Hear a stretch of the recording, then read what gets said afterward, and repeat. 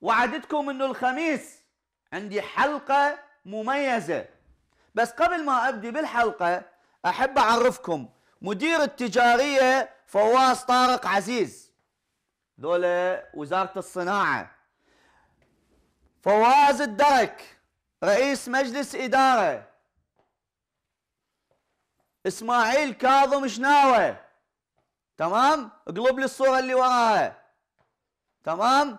مدير المشاريع قاسم عبد المحسن مدير الرقابة رشيد عبد الحميد مدير موقع الدباغة خالد غازي الملقب خالد صحن.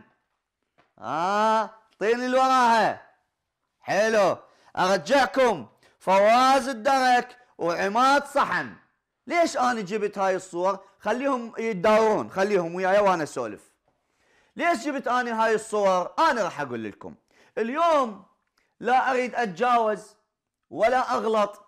راح أحكي ويا رئيس الوزراء مباشر من أنا ويا محمد الشياع السوداني رئيس وزراء العراق.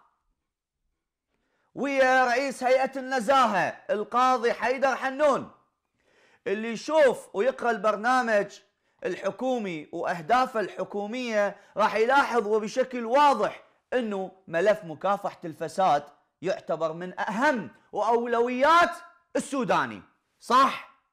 والدليل أنطيك أنه هواي أشياء حتى لو أكو بعض الناس اللي بمكتب محمد الشياع السوداني يضوجون مني تمام؟ بس يعرف محمد الشياع السوداني رئيس وزراء العراق انه اني ما أجيب شيء بدون دليل.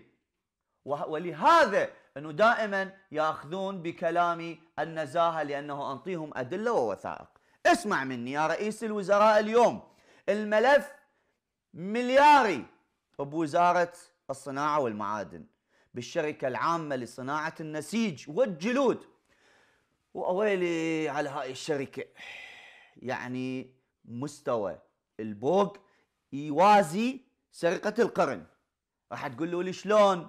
هي سرقة القرن. بس وحدة؟ لا لو بس وحدة. كان ما نهبت فلوس العراق. تمام. بس ضاميها عليكم وراح تشوف شلون يصير طمطمة ملفات الفساد وبشكل أصولي وإداريات مرتبة. راح أسولف لك ليش يا رئيس الوزراء الموضوع مثل ما هو. وبالأوليات اللي تشوفها على الشاشة. تمام؟ لا مزيدين ولا منقصين. بمصنع القطنية اللي بمنطقة الكاظمية. خلي على قولة أبو شاهين. آه عماد الصحن يعرف عن شنو جاي يسولف. الكاظمية أكو جزء من المصنع وبمكان مميز قرب ساحة عدن. مساحته 47 دونم. وين؟ بالكاظمية. مساحته 47 دونم. يا رئيس الوزراء ركز لي هنا لأن راح نعطيك كله بالدليل. يا هيئة النزاهة يا كل اللي يشوف. أكيد هيك موقع وهيك مكان وهيك مساحة راح يخلي الحرامية يتكالبون عليه. والفاسدين يردون هاي القاع. ليش؟ لأنه راح تصير حصة الأسد. تمام؟ وقبل ما نحكي عن حصة الأسد وشون التفاصيل أنا أحب أقول لكل هاي الشلة تمام؟ أنتم فتح عليكم باب جهنم. لأنه شكو واحد من ذول الحرامية الثقال اللي أكبر من عندكم من راح يشوف هاي الحلقة راح يروح يدور على هاي القاع وراح يروح يأكلكم أنتم وياها. هاي المساحة علنت عليها الشركة العامة لصناعة النسيج والجلود اللي مديرها منو؟ فواز مفلح درك. هذا. تمام؟ منو فواز مفلح درك؟ الجغيفي هاي إيش وقت؟ آخر أيام الحكومة السابقة يعني من كان منهل الخباز وزير للصناعة. والوكيل يوسف الجنابي. بالمختصر يعني الشغلة التعزيلة مال الجماعة. آخر أيام الحكومة. المهم صار إعلان شلون؟ من جوا العباية. لإنشاء مجمع سكني. الله إيش قد حلو إنشاء مجمع سكني. بس هذا المجمع شنو؟ هو خوش لعبة هاي مال بوق قياعين إنه شلون يبوقون؟ نريد نسوي مجمع سكني.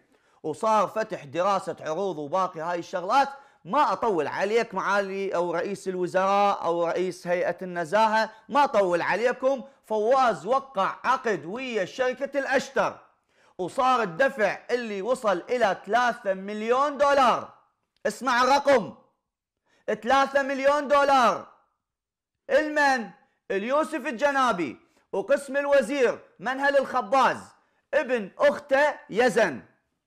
هسه عندنا يزن سابقا وحاليا منو؟ ماهر وأيمن. وأكيد هم أرجع وأقول وزير الصناعة خالد بتال يعرف عن شنو جاي يسولف. وأكيد قسم الفواز مفلح درك ولو تشوفون تاريخ توقيع العقد بالشاشة. اعطوني أول وثيقة. يعني قبل تشكيل هذا محضر اللجنة يا رئيس الوزراء هذا محضر اللجنة تمام؟ يعني قبل تشكيل الحكومة بأيام قليلة. وتوقيع العقد. قلب لي قلب لي الوثائق. واحدة ورا الاخ على مود رئيس الوزراء والجهات المعنية تشوف. أنا أحكي بالدليل. يعني قبل تشكيل الحكومة الجديده الحد هنا وزير الصناعة الحالي خالد بتال الجغيفي ما له علاقة. بكل شيء لهنا الحد هسه ما له علاقة.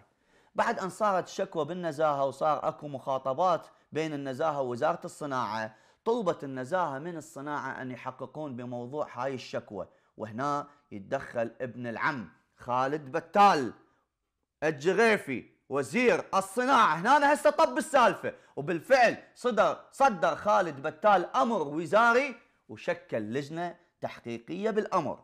تمام؟ لهنا زين؟ هذا شو وقت؟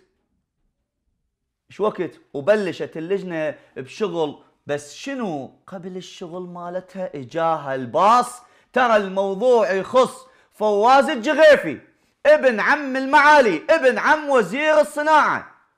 وديروا بالكم تقصروا أو تقصرون وياه تسدون الموضوع.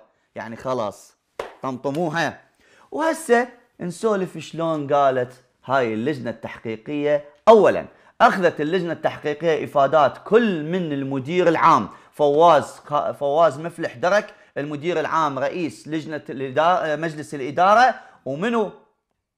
فواز طارق عزيز مدير القسم التجاري. أوقف رجع لي عليهم حتى يشوفوهم الناس. رجع لي على الصور. فواز طارق عزيز مدير اسمع. هذا فواز طارق عزيز مدير التجارية. امشي. آه، رشيد عبد المجيد محسن. تمام؟ قسم الرقابة إسماعيل كاظم شناوة مدير القسم القانوني قاسم عبد المحسن مدير المشاريع ورئيس لجنة تحليل العطاءات. واثق عيدان. خلي يسمع رئيس الوزراء جايب لك إياهم بالأسماء. منو اللي وقع واثق عيدان. علي مدير قسم الاستثمار. هسه المرحلة الثانية. نشوف بالصور المعروضة انه التحقيق ذكر عبارة أن إدارة الشركة قامت بالتفريط بممتلكات الشركة من خلال التعاقد مع شركة الأشتر. يعني شنو؟ يا رئيس الوزراء يا رئيس هيئة النزاهة يعني هدر بالمال العام. أنتم تسموها مصطلح قانوني أو تسموها هدر بالمال العام. لا أنا أسميه بوق. لا هذا بوق. ثبتت اللجنة التحقيقية بأن سعر المتر المباع للموظفين من الوحدات السكنية مبالغ به جدا. حتى الموظف البسيط يعوفوها ويقسط حقها والمستثمر. يعني هم والمستثمر. يبيعها على راحته. والمضحك يا رئيس الوزراء أن المدير العام فواز الجغيفي وقع العقد بالاعتماد على مصادقة مجلس الإدارة. واللي عدد أعضائه إشقد. خلي يسمع على قولة أبو شاهين. خلي يشوف رئيس الوزراء عن شنو جاي يسولف. تسع أشخاص المفروض تمام؟ مع أنه اللي موقعين على قرار مجلس الإدارة بس ثلاثة. يعني حتى ما مكتمل النصاب ولا نصف زائد واحد بس ثلاثة. هذا مو كلامي. هذا كلام اللجنة التحقيقية. وهنا يا فواز الجغيفي مو تروح تغير القرار مجلس الإدارة هسه. ترى القرار الأصلي عندي موقعين عليه بس ثلاثة. أعضاء موجود وهذا مو كلامي هذا كلام اللجنة التحقيقية. المهم ما أطول عليكم لأن طولت هواية بس أنا متعمد أريد أوصلها بدون تجاوز رئيس الوزراء. على مود هذا الموضوع موضوع القاع. تمام؟ ما عاقبت ولا واحد اللجنة وما وما وصلت. بإحالة الملف إلى هيئة النزاهة. ليش؟ لأن هذا يخص فواز ابن عم وزير الصناعة. بس شنو اكتفت اللجنة بفسخ وإنهاء التعاقد؟ وهذا كل اللي قدرت عليه اللجنة. يعني شنو يا رئيس الوزراء؟ يعني كلامي صح. يعني أكو بوق مو تلاعب بالمال العام.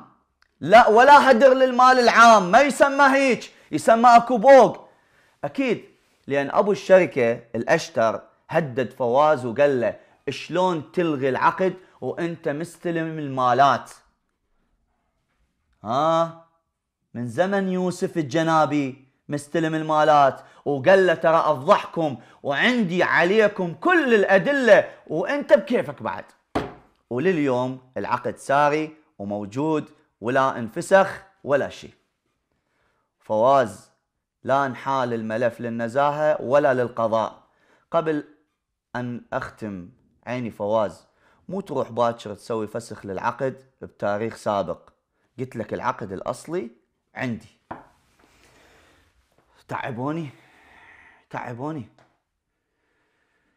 آخ هذا الكلام بعد يعني صدق عندي عندي هواي أشياء بس أني ما أحب أطول على المشاهد بهيك موضوع. صحيح هو مهم وصحيح هو بوثائق وأدلة والتواريخ بس راح أدزها كلها إلى النزاهه ورئاسة الوزراء يطلعون عليها. وإذا أني كذاب خلي ينزلون بيان.